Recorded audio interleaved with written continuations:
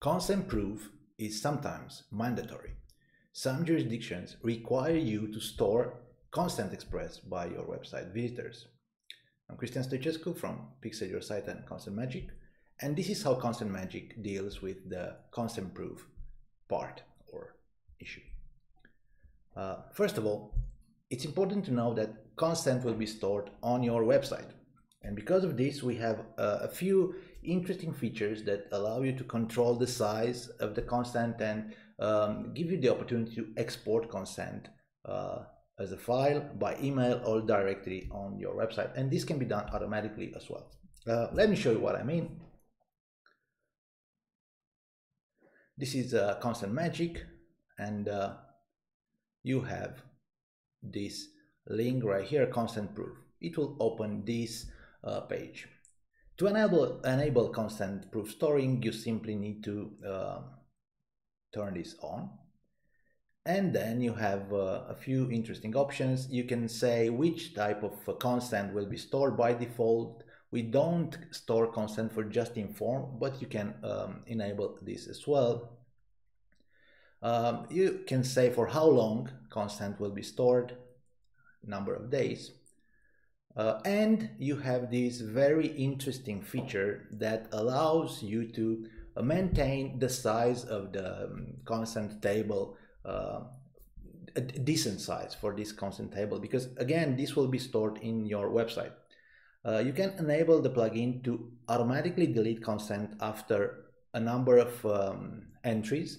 The maximum uh, number is 5,000 because we, we don't want to uh, have a huge database and to email the consent that was deleted um, to a particular address. So you add your uh, email here and the plugin will first email the consent as a file, CS, uh, a text file, and then will delete the consent. So it's very easy and uh, useful. Now, you can also go here and uh, check the record. Of course, I, I have just a few entries, but you'll have many more. And you can see a few details, the, the type of consent, and you can click for uh, more details and you'll see the, the page where the consent was expressed. If uh, it's associated to a user, you will see the email of the user and the link to the user profile uh, the rule name and the, the, consent type and the action that was um, um, performed by your visitor. So if, if it was a click on the button or scroll, it depends. For example, this one was a disable all, this one allow all, and so on. And uh, th this is um, the data that will be exported as well. Uh, and on this page you also can export consent and you will get a file or delete all consent. And in this case the plugin will ask you if you want to download um, the the file first.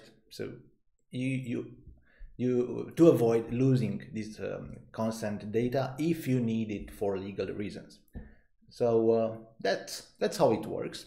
Uh, another thing each rule has uh, the option to be excluded from consent.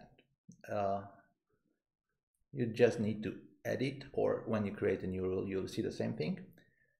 And you have this option right, right here exclude from consent storing. Once you turn it on consent expressed for this particular rule will not be stored.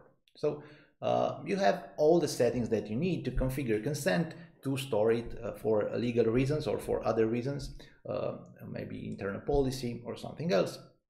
And uh, you have uh, a, new, a few nice features that will help you to keep the database under control. This is it, this is how it works. It's a new feature that uh, ConsentMagic has and uh, I encourage you to, to, to, to start using it.